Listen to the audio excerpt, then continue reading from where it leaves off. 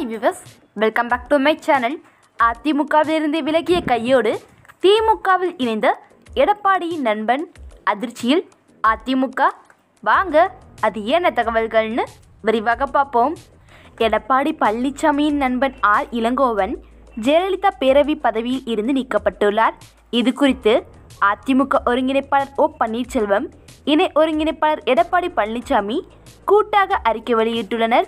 அதில் சேலம் புறநகர் மாவட்ட செயலாளர் பொறுப்பில் இருக்கும் ஆர் இளங்கோவன் ஓமந்தூர் மேற்கு ஒன்றிய செயலாளர் பொறுப்பில் இருக்கும் ஆர்மணி ஆகியோர் இன்று முதல் அவரவர் வகித்திருக்கும் பொறுப்புகளில் இருந்து விடுவிக்கப்படுகின்றனர். சேலம் புறநகர் மாவட்ட பொறுப்பில் ஆர்மணி இன்று முதல் நியமிக்கப்படுகின்றார்.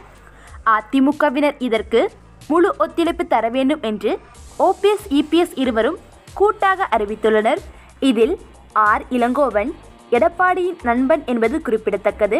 அது மட்டுமில்லாமல் ஏற்கனவே சேலம் மாவட்டம் செயலாளராக ஆர். இளங்கோவன் நியமிக்கப்பட்டதை எதிர்த்து அதிமுகவில் தொடர்ந்து எதிர்ப்புகள் கிளம்பி வருகின்றது.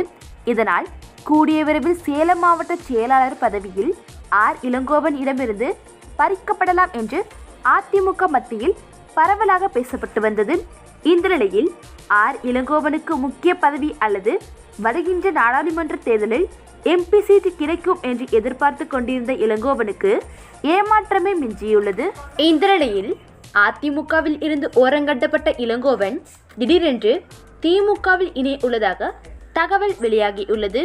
இதனால் அதிமுக தலைமையான எடப்பாடிக்கு இது மிகப்பெரிய அதிர்ச்சியை ஏற்படுத்தியுள்ளது. ஓகே விவஸ் இதை பற்றி என்ன நினைக்கிறீங்கன்றத மறந்துடாம கமெண்ட் பாக்ஸில் கமெண்ட் பண்ணுங்க. இந்த வீடியோ பிடிச்சிருந்தா லைக் பண்ணுங்க. ஷேர் பண்ணுங்கள் மறந்துடாமல் நம்ம சேனலை சப்ஸ்கிரைப் பண்ணிடுங்க தேங்க்ஸ் ஃபார் வாட்சிங்